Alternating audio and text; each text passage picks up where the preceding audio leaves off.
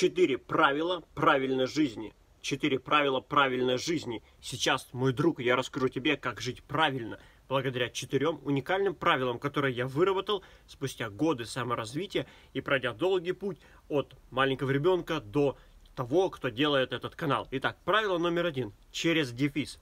Оно так и звучит. Через дефис. Запомни, что все, что ты делаешь в этой жизни, нужно делать через дефис. Пошел ты мыть руки или умываться а, в раковине, или ты покупаешь вещи в магазине, или выбираешь новый автомобиль. Делай это через дефис.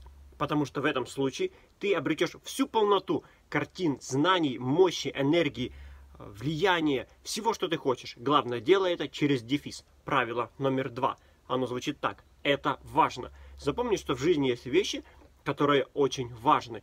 И когда ты встречаешься с такой вещью, с таким явлением, с таким каким-то изысканием, нравоучением, пояснением, скажи, это важно, это важно. Например, «А, делай все через дефис, это важно. Правило номер три, оно звучит так. Вот это правильно. Вот это правильно, это выражение своего согласия. Когда ты хочешь одобрить что-то, когда ты хочешь согласиться, поощрить, замотивировать, присоединиться, стать сообщником, поделиться, скажи, вот это правильно, вот это правильно, это классное видео, вот это правильно.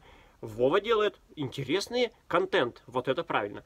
Правило номер четыре. Я говорил о нем в одном из предыдущих видео. Лучше делать лучше, чем не делать плохо. Запомни, лучше делать лучше, чем не делать плохо. И делать это лучше через дефис.